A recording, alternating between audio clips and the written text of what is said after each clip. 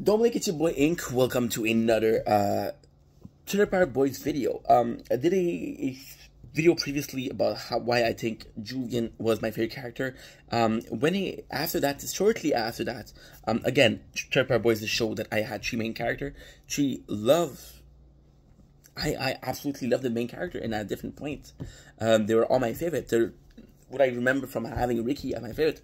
Ricky was the second favorite I had, and it, why Ricky was my favorite was because he, he, he, was funny. He was he was like an asshole. He was stupid. He was a dick, but he had a better intention. He wanted to be a good father. You see, Ricky was the perfect example, the perfect uh, image of a father who's willing to sacrifice everything for his daughter and doesn't know how. Um, to me, uh, Ricky scream, uh, "I'll do anything for my family." Even if it means like putting myself down. You see how far he's looking for Lucy, and you can kind of argue that Lucy she's not good for Ricky because he loves her, and she's the mother of Lucy, of Trinity, and in a perfect world, her, her family again, and that's why he's so intent on having her.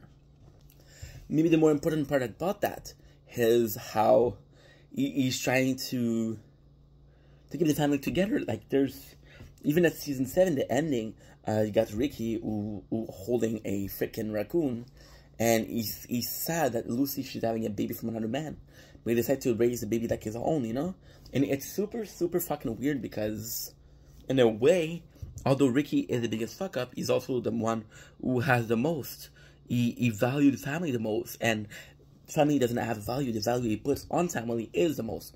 When you look at it, Julian has nobody. Bubbles, he doesn't need nobody. But Ricky, he, he, he needs a family and he has a family.